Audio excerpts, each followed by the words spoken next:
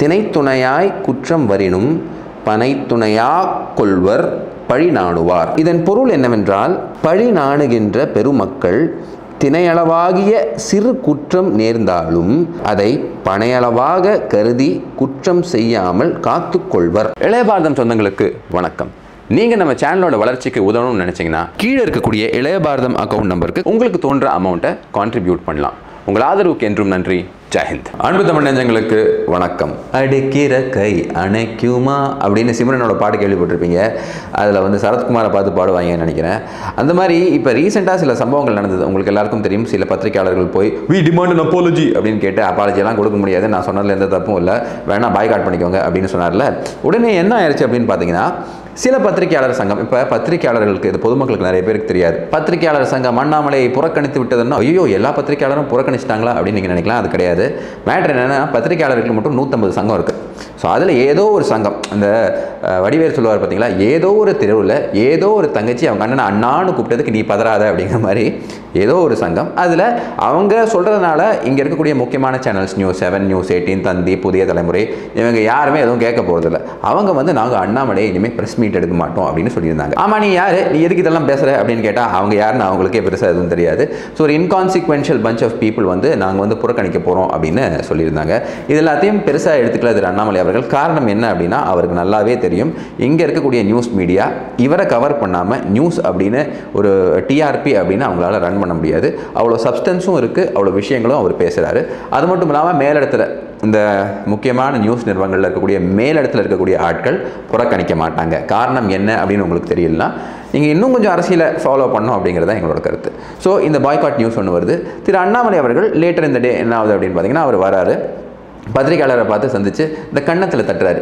நல்ல வேலை பன்வாரிலால் புரோஹித் அவர்களுக்கு ஒரு பிரச்சனை வந்துச்சு. ஒரு பெண்ணை செல்லமாக கள்ளத்தில் தட்டினார். அதை வந்து பெருசாக இங்கே ஊதி பெருசாகினாங்க ஊதி ஊதி பெருசாக்குங்கண்ணே அப்படின்னு பெருசாக்குனாங்க. உங்களுக்கு தெரியும் மீடியா அப்படி ஒர்க் ஆகும்னு இந்த பர்டிகுலர் கேஸில் அவர் என்ன பண்ணியிருக்காருன்னா ஒரு ஜேர்னலிஸ்ட்டை பார்த்து அண்ணே எப்படி இருக்கீங்க? அப்படின்னு தட்டிருக்காங்க சைடில் இந்த நியூஸ் செவன் தந்தி டிவி அவங்களோட மைக்கெல்லாம் நம்மளால் பார்க்க முடியும். அப்போ புறக்கணிப்பு எந்த லெவலில் ஒர்க் அவுட் ஆகுதுன்னு அப்படின்னு உங்களுக்கு தெரியும். பார்த்துட்டு எல்லாரையும் பார்த்து என்ன சொல்லலாம்னா அண்ணே எல்லாரும் பார்த்துருங்கண்ணே. குண்டும் குழியுமாக இருக்குது ரோடு அப்படின்னு அங்கேயும் ஒரு பொலிட்டிக்கல் பாயிண்ட்டை ஸ்கோர் பண்ணுறாரு அதாவது இங்கே இருக்கக்கூடிய நிலமை கொஞ்சம் மோசமாக தான் இருக்குது மழை காலம்னு பார்த்து போங்க. ஏன்னா மீடியாக்காரங்க நீங்கள் எல்லா இடத்துலையும் போய்கிட்டு இருப்பீங்க. ஏன்னா ரீசெண்டாக நீங்கள் பார்த்துருப்பீங்க. அடிக்கிற மழையும் பொருட்படுத்தாமல் உண்மையிலேயே நிறைய மீடியாக்காரங்க ஆர்எஸ்பி மீடியாவை சொல்ல உண்மையிலே வேலை செய்யக்கூடிய ஆட்கள் அவங்கெல்லாம் வந்து அவங்க என்ன பண்ணுறாங்க அப்படின்னு பார்த்தீங்கன்னா அந்த வெள்ளத்தில் போய் நின்று மக்களோட நிலைமை என்ன இருக்குது மக்களுக்கு என்ன கஷ்டங்கள் இருக்குது அப்படிங்கிறது எல்லாத்தையும் கவர் பண்ணுறாங்க இன்ஃபேக்ட் நியூஸ் எயிட்டின் ஒரு பர்டிகுலர் ஜாப் பண்ணாங்க ரொம்பவே எக்ஸ்க்ளூசிவாக இருந்துச்சு அது என்ன அப்படின்னு பார்த்தீங்கன்னா ஒரு பெண் வந்து போய் அந்த கழிவுநீர் அஹ், குழி இருக்குது பார்த்தீங்களா அதில் விழுந்துடுறாங்க. அப்புறமா மயக்கம் போட்டு விழுந்துடுறாங்க அவங்கள கொண்டு போய் ஃபஸ்ட் எய்ட் எல்லாம் பண்ணுறாங்க அந்த விஷயத்தை கவர் பண்ணி அதை மக்களுக்கு கொண்டு போய் சேர்த்துறாங்க. இந்த மாதிரி நிலைமை இருக்குது ஸோ பி சேஃப் அப்படிங்கிற விஷயத்தை சொல்கிறாங்க ஸோ திரு அண்ணாமலை அவர்கள் என்ன சொல்கிறார் அப்படின்னு பார்த்தீங்கன்னா என்னதான் தான் குரங்க மாதிரி இங்கேயும் அங்கேயும் தாவாதீங்க அப்படின்னு சொல்லிட்டு காட்டமாக பேசி அதாவதுங்க ஆர்எஸ்பி மீடியாவை பொறுத்தவரையும் நான் மீடியாவை சொல்ல ஓவரால் மீடியாவை சொல்ல RSP media sections of the மீடியாவை பற்றி சொல்கிறேன் என்னென்னா அவங்களுக்கு திரு ஆர்எஸ்பி அண்ணன் பேசினதெல்லாம் பிரச்சனை கிடையாது. ஆனால் குரங்குன்னு மட்டும் சொன்னால் பொத்துட்டு கோவம் வந்துடும் கமல்ஹாசன் அவர்கள் வசூல் ராஜா படத்தில் சொல்லுவார்ல அந்த டைலாக லைட்டாக மாடிஃபை பண்ணால் ஆர்எஸ் பாரதி அவ்வளோ கேவலமாக திட்டின போதெல்லாம் கல் மாதிரி நின்ன இந்த மீடியா இவர் குரங்குன்னு சொன்னோன்னே கண்ணில் கண்ணீர் விட்டாங்க அப்படிங்கிற மாதிரி இருக்குது நமக்கு இந்த ஃபீலிங் ஸோ இவர் பாய்காட் பண்ணுறோம் அப்படின்னு சும்மா ஒரு நியூஸை கிளப்பி விட வேண்டியது. ஆனால் யாரும் பெருசாக பாய்காட் பண்ணல. இவருமே இவர் சைடில் என்ன பண்ணுறாரு அப்படின்னு பார்த்தீங்கன்னா பத்திரிகையாளர்களை நான் மதிக்கிறேன். அவர் மே அவங்க மேலே எனக்கு ஜெனுவினாக ஒரு கன்சர்ன் இருக்குது எல்லாரையும் எப்போவுமே வந்து வாங்க போங்க சாப்பிட்டுங்க சாப்பிட்டீங்களா? அப்படின்லாம் கேட்பாரு. இப்போ ரோடு கொஞ்சம் மோசமாக இருக்குது அப்படின்னு அந்த விஷயத்தையும் பாயிண்ட் அவுட் பண்ணிவிட்டு சேஃபாக இருங்க அப்படின்னு அவர் சொல்லிட்டு போகிறாரு ஸோ இது இப்போ இணையதளத்தில் வைரல் ஆகிட்டு இருக்கு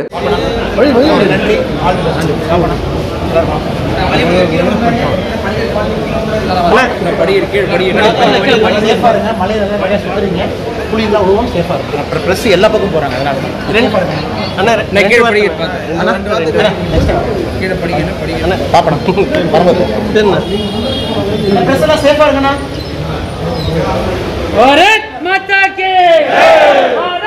ஸோ அவர் தப்பான விஷயத்தை பாயிண்ட் அவுட்டும் பண்ணுவார் at the same time right ஒர்க்கை ரெக்கக்னைஸும் பண்ணுவார். ஸோ இதுதான் இதுக்கு இதில் இருக்கக்கூடிய பாட்டம் லைன் இது இங்கே அரசியலை க்ளோஸாக ஃபாலோ பண்ணுறவங்களுக்கு தெரியும். பட் அஜெண்டா வச்சு பேசக்கூடிய ஆட்கள் என்ன பண்ணுவாங்கன்னா அண்ணாமலையை புறக்கணிக்கணும் அண்ணாமலையை புறக்கணிக்கணும்னு அங்கேயும் அண்ணாமலை அவர்களை பற்றி தான் பேசிகிட்டு இருக்காங்க. அதாவதுங்க தமிழக அரசியலே நீங்கள் பார்த்தீங்க அப்படின்னா புறக்கணிக்கணும் அப்படின்னு சொல்லிட்டு இன்னும் அவரை வந்துட்டு ஃபேமஸ் பண்ணிக்கிட்டு இருக்கிறது தான் இவங்களோட வேலையாக இருக்குது அதை தெரியாமல் கூட இன்னும் மீடியாவில் அவங்கள ஹையர் பண்ணி வச்சுருக்காங்க. ஸோ இது ஒரு பக்கம் இருக்கும்போது திரு அண்ணாமலை அவர்கள் மேலே ஆறு பிரிவில் வழக்கு போட்டிருக்காங்க. என்னெல்லாம் போட்டிருக்காங்க அப்படின்னு பார்த்தீங்கன்னா சட்ட அமைதிக்கு குந்தகம் விளைவிக்கும் விதமாக செயல் பண்ணியிருக்காரு. அப்புறமா அரசு ஊழியர்களை பணி செய்யாமல் தடுத்துட்ருக்காரு அப்படின்னு ஒரு செக்ஷன் இதில் ஆட் பண்ணியிருக்காங்க. ஸோ இந்த செக்ஷன்ஸ் எல்லாம் வந்து பார்த்தீங்க அப்படின்னா இதில் பெருசு எஃபெக்டெல்லாம் இல்லை. சரி இவர் மேலே ஒரு கேஸ் போட்டோம் அப்படின்னு சொல்லிட்டு ஒரு ஃபார்மாலிட்டிக்கு ஒரு கேஸ் போட்டிருக்காங்க. அதில் பெருசாக எந்த விதமான யூஸும் இல்லை. ஸோ இந்த மாதிரி சூழலில் திரு அண்ணாமலை அவர்களை தலைவா அப்படிங்கிற ஒரு ப்ரோக்ராமில் இன்வைட் பண்ணியிருக்காங்க. அதை பற்றி நானும் உங்ககிட்ட பேசியிருப்பேன். ஸோ ஆஸ்பேர் சுவாமிநாதன் அவர்கள் நடத்தக்கூடிய ஒரு ப்ரோக்ராமில் அவரை இன்வைட் பண்ணியிருக்காங்க. ஸோ அவர் என்னெல்லாம் பேசுகிறார் அப்படின்னு பார்த்தீங்கன்னா எப்படி திரு மோடி அவர்களோட வளர்ச்சி குஜராத்தில் இருந்துச்சோ அதே மாதிரி தமிழகத்தில் இங்கே பாரதிய ஜனதா கட்சியோட வளர்ச்சி இருக்கும் அப்படிங்கிறத இன்டைரக்டாக சொல்கிறாரு two point five percent Modi அவர்களோட ஓட் பேங்க் இருந்தது. அது க்ரோ ஆகி ஃபார்ட்டி பர்சன்ட் ஆச்சு. இங்கே பார்த்தீங்கன்னா கிட்டத்தட்ட நூறுக்கும் மேற்பட்ட தொகுதியில் வெறும் டிஎம்கே ஏடிஎம்கே தான் மாற்றி மாற்றி வரும். ஆனால் பாக்கி இருக்கக்கூடிய தொகுதிகளில் கஷ்டப்பட்டு ஃபைட் பண்ண வேண்டியிருக்கும். ஸோ சிம்பிளாக என்ன சொல்கிறாங்கன்னா பாக்கி இருக்கக்கூடிய நூற்றி முப்பத்தி நாலு இடத்துல பாஜக அடுத்த எலெக்ஷனில் கேப்சர் பண்ணுறதுக்கு ட்ரை பண்ணும் அப்படின்னு சொல்கிறாரு இது வந்து அவரோட இன்டைரக்ட் இண்டிகேஷன் எப்படி குஜராத்தில் வளர்ந்துச்சோ அதே மாதிரி என் தலைமையில் இங்கே வளரும் அப்படிங்கிற விஷயத்த அவர் சொல்லியிருக்கார். இப்போ மோ- மோடிஜி நீங்கள் எடுத்துக்கிட்டீங்கன்னா thirty five when joined Gujarat as the state organising secretary Modiji பண்ண ஃபர்ஸ்ட் வேலை என்ன அப்படின்னா இன்னைக்கு பார்த்தீங்கன்னா Congress is operating in Gujarat ஆன concept of Dalit tribals and OBC மூணு powerful செக்மெண்ட்டை Congress was like holding it Solanki there was chief minister he was undisputable mass leader. மூணு செக்மெண்ட்டையும் பக்கா சாலிடா வச்சிருந்தாங்க Gujarat was always a Congress state for kind information it was always a Congress state மூணு எலெக்ஷன்ல Congress வந்துச்சுன்னா ஒரு எலெக்ஷன்ல பிஜேபிங்க தான் நடக்கிறது nothing so eighty five Modiji வந்ததுக்கு அப்புறம் நீங்க இப்ப என்ன நிலைமையில் இருக்கீங்களோ Modiji was sitting in the same mind எப்படி நம்ம பிஜேபியை வளர்க்கணும்? How like I BJP BJP? The first thing Modi ji started doing is he started hunting தலைமுறை வேணும். It's a ten year project let me hunt leaders ஒரு ஒருத்தரா ஒரு ஒருத்தரா யங்ஸ்டரை முப்பத்தி முப்பத்தஞ்சு முப்பத்தாறு வருஷத்துல பிடிச்சி அவங்களை கொண்டு வந்து அஞ்சு வருஷம் கழிச்சு அவங்க எல்லாம் லோக்கல் பாடி எலெக்ஷன்ல கண்டெஸ்ட் பண்ண வச்சு ஸோ கிட்டத்தட்ட Modiji was the organising secretary for about seven eight years இந்த ஏழு எட்டு வருஷத்துல அவங்க கண்டுபிடிச்ச லீடர்ஸ் தான் இன்னும் குஜராத் வண்டி ஓடிட்டு இருக்கு. Even the current chief minister Bhupendra ஜீவன் வைட் அந்த கண்டுபிடிச்ச அந்த ஜெனரேஷன் அவர் கொண்டு வந்து thirty thirty five years it is survive ஆனா நீங்க சில நேரத்துல ட்ரெடிஷ்னல் பார்ட்டிக்குள்ள போயிட்டீங்கன்னா உங்களுக்கு அந்த பிரச்சனை கிடையாது. Traditional party has got its own way of leadership succession ஒரு லீடர் இருக்காங்க பையன் வர்றாங்க இன்னொரு இடத்துல அவங்க கேட்ச்மெண்ட் ஏரியா இருக்கு. But if get to non traditional party for example like BJP which is growing non traditional பார்ட்டில உங்க திங்கிங்க வேற மாதிரி இருக்கும். Traditional பார்ட்டில you are you just gone there you arrived நம்ம ஏற்கனவே பேசினது போல அந்த ஃபர்ஸ்ட் அறுபத்தி நாலு கான்ஸ்டியூன்சி போயிட்டீங்கன்னா நீங்க தான் வின்னர் அடுத்த நாற்பதுக்குள்ள போயிட்டீங்கன்னா you are almost a winner அந்த ஃபைட் இருக்கிறதே தமிழ்நாட்டில் அந்த நூறு சீட்டுக்கு தான் சண்டை போட்டு இவங்க ஜெயிப்பாங்களா அவங்க ஜெயிப்பாங்க பட் நான் ட்ரெடிஷ்னல் போகும்போது the next important leadership right is you to hunt for leaders leaders will change the course of society எப்படி சொல்லாவீங்க ஒரு லீடருடைய பெரிய பெரிய வேலையே டு கிரியேட் அனதர் லீடர் லீடரோட பெரிய வேலை நான் தலைவன் ஆயிட்டேன் நான் தலைவன் ஆயிட்டே இருக்கேன்னு சொல்றதை விட யூ கோட் ஃபைண்ட் அந்த ஒரு ஃபைன்ல தான் அமித்ஷாஜி வந்தார். அந்த ஒரு ஃபைன்ல தான் இப்போ அது மட்டும் இல்லாமல் இங்கே இன்னொரு பாயிண்ட் ஸ்ட்ரெஸ் பண்ணுறாரு இன்னைக்கு வந்து என்னன்னா சதய விழா. ஆயிரத்தி முப்பத்தி ஏழாவது சதய விழா. உங்களுக்கு எல்லாருக்கும் தெரியும். இந்தியாஸ் கிரேட்டஸ்ட் டெம்பரர் அப்படின்னு சொன்னாலும் அது தப்பு கிடையாது. ராஜராஜ சோழன் அவர்களின் பிறந்த நாள் அப்படின்னு நம்பப்படக்கூடிய ஒரு நாள் இன்னைக்கு.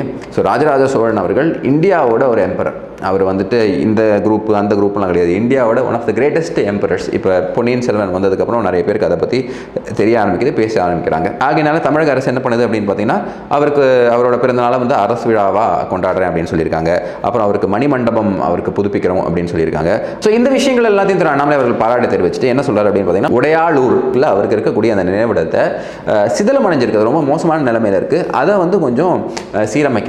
அந்த விஷயத்தை இந்த அரசாங்கம் முன்னெடுக்கணும் அப்படின்னு எங்கெல்லாம் வந்துட்டு நல்ல விஷயங்கள் பண்ணியிருக்காங்களோ அதை பாராட்டுறார். இதில் என்ன அப்படின்னு பார்த்தீங்கன்னா இதுக்கு முன்னாடி இந்த இப்போ பொன்னியின் செல்வன் வர்றதுக்கு முன்னாடி இதை அவங்க பண்ணியிருப்பாங்கன்னா நமக்கு தெரியாது. போன வருஷம் நடந்துச்சு பண்ணல. இந்த வருஷம் ஏன் பண்ணுறாங்க அப்படின்னு பார்த்தீங்கன்னா மக்களுக்கு இது புரிதல் வர ஆரம்பிச்சிச்சு. மக்களுக்கு எவ்வளோ பெரிய மன்னர் இவரை பற்றி நம்ம இந்த டெக்ஸ்ட் புக்கில் எல்லாம் பேசலையே ஆவுனா ஈவேரா ஈவேரான்னு பேசியிருந்தாங்களே ஏன் இவரை பற்றி பேசலன்னு கேள்வி எழும்போது நாங்கள் இதை பாருங்கப்பா நாங்கள் புதுசாக பண்ணுறோம் அப்படின்னு சொல்லிட்டு ஒரு ரெக்கக்னேஷன் கொடுக்காங்க. ஸோ இதுதான் இதுக்கு பின்னாடி இருக்கக்கூடிய அரசியல். அப்படியே அங்கேருந்து இந்த மின் கட்டண உயர்வை பற்றி நிறைய பேர் பேசினாங்க. நீங்களும் பேசியிருப்பீங்க நானும் பேசியிருப்பேன். எல்லாருமே இதை பற்றி பேசியிருப்பாங்க. என்னையா பில்லு திடீர்னு இவ்வளோ வந்திருக்கு? நம்ம அவ்வளோ பணக்காரங்களாயிட்டோமா? இல்லை அவ்வளோ யூஸ் பண்ண ஆரம்பிச்சிட்டோமா? இல்லை வீட்டில் யாராவது நமக்கு தெரியாத ரொம்ப ஏசி யூஸ் பண்ணிருக்காங்களா அப்படிங்கிற சந்தேகம்லாம் வரும்போது மின் கட்டண உயர்வு இதான் இதுக்கு பின்னாடி இருக்கக்கூடிய காரணம். அதனால தான் நமக்கு வந்து இவ்வளோ பில் ஜாஸ்தியாக வருது அப்படின்னு தெரிய ஆரம்பிக்குது. அப்படி இருக்கும்போது கிருஷ்ணசுவாமி அவர்கள் உங்களுக்கு எல்லாருக்கும் தெரியும் புதிய தமிழகம் கட்சியோட உணர் அவர் வந்து ஒரு போராட்டம் பண்ணார். இந்த போராட்டம் பண்ணும்போது அவர் வந்து பெர்மிஷன் வாங்கிட்டு தான் பண்ணார். பட் அதையும் தாண்டி அவர் அரெஸ்ட் பண்ணப்படுறாரு. ஸோ இதை கண்டித்து திரு அண்ணாமலை அவர்கள் ஒரு கண்டனம் அறிக்கை விட்டிருக்காரு. அது மட்டும் இல்லாமல் திரு அண்ணாமலை அவர்கள் ஃபோன் பண்ணி திரு கிருஷ்ணசுவாமி அவர்கள்ட்ட பேசியிருக்காரு. இதே போல் திரு இபிஎஸ் அவர்களும் ஏன்னா இபிஎஸ் அவர்கள் ப்ரொடெஸ்ட் பண்ணிக்கிட்டு இருக்கும்போது திரு கிருஷ்ணசுவாமி அவர்கள் போய் அவருக்கு ஆதரவு தெரிவித்தார் நீங்களாம் பார்த்துருப்பீங்க கருப்பு சட்டை போட்டு அந்த சட்டமன்றத்துக்கு முன்னாடி அந்த மீடியா ஆட்கள்லாம் அப்படியே அஹ், சூழ்ந்து அவர் ப்ரொடெஸ்ட் பண்ணும்போது திரு. கிருஷ்ணசாமி அவர் போய் ஆதரவு தெரிவிக்கிறார். அதே மாதிரி இந்த தடவை கிருஷ்ணசாமி அவர்களை அரெஸ்ட் பண்ணும்போது இபிஎஸ் அவர்கள் போய் மீட் பண்ணுறாரு ஸோ இந்த விஷயங்கள் இங்கே நடந்துக்கிட்டு இருக்கு. அதே போல் விஷால் அவர்கள் உங்களுக்கு எல்லாருக்கும் தெரியும் நான் ஏற்கனவே சொன்னேன். நம்ம அண்ணன் விஷால் அவர்கள். என்ன பண்ணியிருக்காரு அப்படின்னு பார்த்தீங்கன்னா நான் காசிக்கு போனேன் ரொம்ப அற்புதமாக இருந்தது. மோடி அவர்கள் போன்ற ஒரு தலைவரால் மட்டும்தான் இந்த மாதிரி ஒரு சூப்பரான மாற்றம் கொண்டு வர முடியும் அப்படின்லாம் அவர் போட்டிருந்தார்ல. இதை மோடி அவர்கள் ரீட்வீட் பண்ணியிருக்காரு. ரீட்வீட் பண்ணிவிட்டு ரொம்ப நன்றி. நீங்கள் ஒரு நல்ல உங்களுக்கு ஒரு நல்ல எக்ஸ்பீரியன்ஸாக இருந்தது காசி அப்படின்னு கேட்கும்போது சந்தோஷமாக இருக்குது அப்படிங்கிற மாதிரி அவர் சொல்லியிருக்காரு. ஸோ இதெல்லாம் எதை காட்டுது அப்படின்னு நீங்கள் புரிஞ்சுக்கணும். இந்த சினிமா வேர்ல்டு டின்சல் வேர்ல்டு எப்போவுமே வந்து ஒரு பிடியில் மட்டும் இருக்கிறது இப்போ மெல்ல மெல்ல மாறுது. அங்கே இருக்கக்கூடிய டேரக்டர்ஸ் அங்கே இருக்கக்கூடிய ஆக்டர்ஸ் எல்லாம் இப்போ மெல்ல வெயிட் பண்ணு. ஆமாம் என்ன இவங்களே எல்லாத்தையும் பண்ணிக்கிட்டு இருக்காங்க? சரி இல்லையே நமக்கு ஒரு மாற்றம் தேவையே அப்படின்னு யோசிக்க ஆரம்பிக்கிறாங்க. இது ஒன்று ரெண்டாவது விஷயம் என்ன அப்படின்னு பார்த்தீங்கன்னா இது இயல்பானது. உலகம் எங்கும் நீங்கள் பார்த்தீங்கன்னா சினிமாவில் ரெண்டு சைடுமே இருக்கும். ஆனால் நம்ம ஊரில் மட்டும் தான் ஒரு சைடு மட்டுமே பேசிகிட்டு இருப்பாங்க. ஸோ அந்த இயல்பு நிலைக்கு நம்ம இப்போ தான் போய்கிட்டு இருக்கோம். பாருங்களேன். எவ்வளோ இந்த கிளச்சஸ் ஆஃப் திரவிடியன் ரூலில் எவ்வளோ நாள் வச்சிருக்காங்க. நீங்கள் கொஞ்ச நாளைக்கு முன்னாடியெல்லாம் பார்த்துருப்பீங்க. ஒரு செவன்ட்டீஸ் எயிட்டிஸ்லாம் பார்த்துருப்பீங்க. நிறைய கடவுள் பக்தி படங்கள்லாம் வரும். ஈவன் சிக்ஸ்டீஸ்லாம் வந்துச்சு. ஆனால் இப்போ அந்த மாதிரி பழக்கம் எடுத்தால் அது வந்து ஃபேஷன் இல்லை. அதுக்கு டிஸ்ட்ரிபியூட்டர் கிடைக்க மாட்டாங்க அப்படிங்கிற மாதிரி பிரச்சனைகள்லாம் இருக்குது அந்த மாற்றமும் இப்போ மெல்ல மெல்ல வந்துக்கிட்டு இருக்குது அப்படியே அங்கேருந்து நேஷனல் லெவலில் நடக்கக்கூடிய ஒரு விஷயத்தை பார்ப்போம். யூபியில் என்ன நடக்குது அப்படின்னு பார்த்தீங்கன்னா திரு யோகி ஆதித்யநாத் அவர்கள் ஒரு டிஎஸ்பி ரேங்கில் இருக்கக்கூடிய ஒரு போலீஸ் ஆஃபீஸர் அவர் வந்து லஞ்சம் வாங்கிட்டாருன்னு என்ன பண்ணுறாங்க அப்படின்னா அவர் டிஎஸ்பியிலேருந்து அவரை வந்து கான்ஸ்டபிள் ரேங்க்கு டீப்ரமோட் பண்ணுறாங்க எப்படி? டிஎஸ்பி லெவலில் இருந்துட்டு அதாவதுங்க ஒரு கான்ஸ்டபிளரி ஹெட் கான்ஸ்டபிள் அதுக்கப்புறம் எஸ்ஐ இன்ஸ்பெக்டர் அதுக்கப்புறமா டிஎஸ்பின்னு வச்சுக்கோங்களேன். டிஎஸ்பிலேருந்து டேரெக்டாக டீப்ரமோட் பண்ணி காசை வாங்கினல உனக்கு பனிஷ்மெண்ட் எந்த அளவுக்கு இருக்குது அப்படின்னு பார்த்தீங்கன்னா நீ வந்து கான்ஸ்டபிளாக இருப்பேன் அப்படி எக்ஸாம்பிள் செட் பண்ணுறாரு இதெல்லாம் ரொம்பவே முக்கியமான விஷயம். ஒரு எக்ஸாம்பிள் செட் பண்ணும்போது நாளை பண்ணி திருப்பி யாராவது காசு வாங்குறதுக்கு முன்னாடி யோசிப்பான். கரெக்ட்டுங்களா?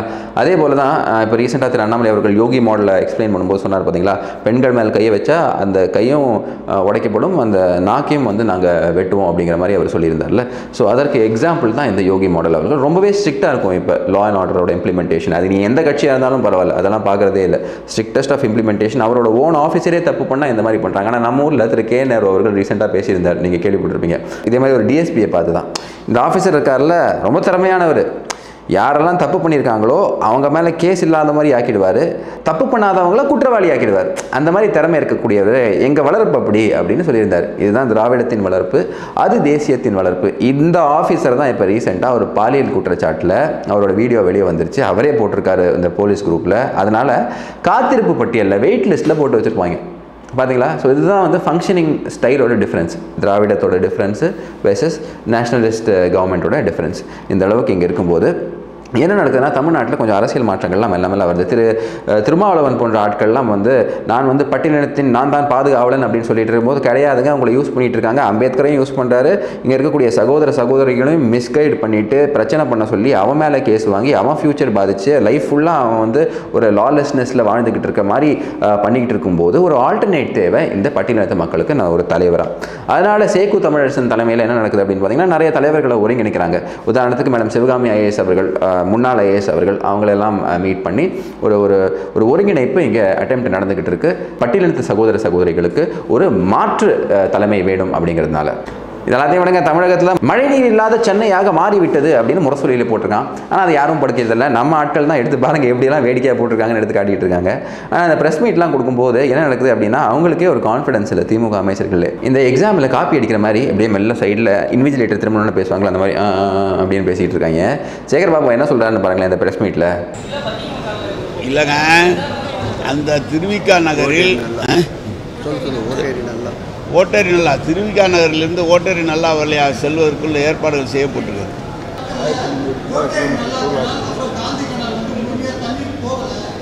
போதும் தண்ணி போதும் வாங்க போய் பார்க்கலாம் சொல்லுங்கள்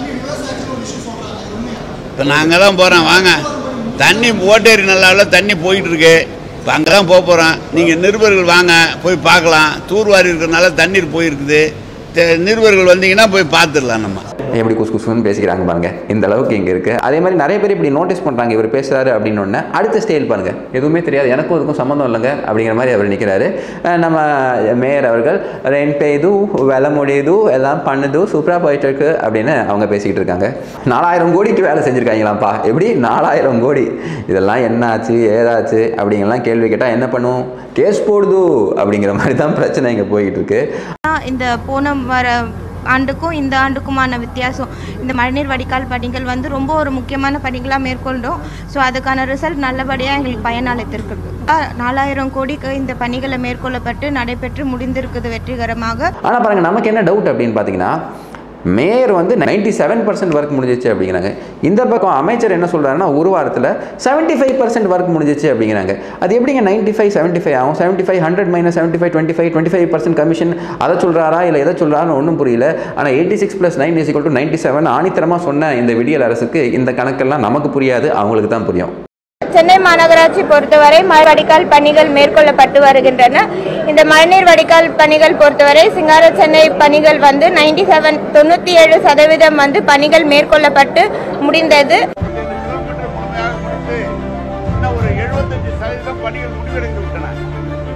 பதினேழு நம்ம என்ன சொல்ல விரும்புகிறோம் அப்படின்னு பார்த்தீங்கன்னா நல்ல பத்திரிகையாளர்கள் ஒரு சமூகத்தின் முதுகெலும்பு மாதிரி. முதுகெலும்பே இல்லாத சமூகமாக நம்ம மாறிக்கிட்டு இருக்குமான்னு ஒரு பயம் நமக்கு ஏன் வருது அப்படின்னு பார்த்தீங்கன்னா sold out media RSP media நிறைய பிரச்சனை பண்ணக்கூடிய மீடியா ஒன் சைடாக பேசக்கூடிய மீடியா அந்த மாதிரி இல்லாமல் தைரியமான பத்திரிகையாளர்கள் இந்த சைடு தப்பு பண்ணால் கேட்கணும் அந்த சைடு தப்பு பண்ணால் கேட்கணும். அந்த மாதிரி பத்திரிகையாளர் தமிழ்நாட்டுக்கு வருவாங்களா அப்படின்னு ஏக்கம் நிறைய பேருக்கு இருக்குது வருவாங்க. கண்டிப்பாக அந்த காலமும் கூடிய சீக்கிரம் வரும். நிறைய பேர் இருக்காங்க. அவங்க டேலண்ட்டை இந்த டாப் மேனேஜ்மெண்ட் மாஸ் பண்ணிக்கிட்டு இருக்கு. அவங்களுக்கு வாய்ப்பு கொடுக்கப்பட்டால் கண்டிப்பாக இந்த மாதிரி மாற்றம் வரும் அப்படிங்கிற கருத்தோட உங்ககிட்ட இருந்து விடைபெறேன் இணைந்ததுக்கு நன்றி. வணக்கம் வந்தே மாத்திரம். பாரத் மாதா கி ஜெய். வாழ்க பாரதம். ஜெயஹிந்த் எத்தனை காலந்தான் ஏமாற்றுவார் இந்த நாட்டிலே.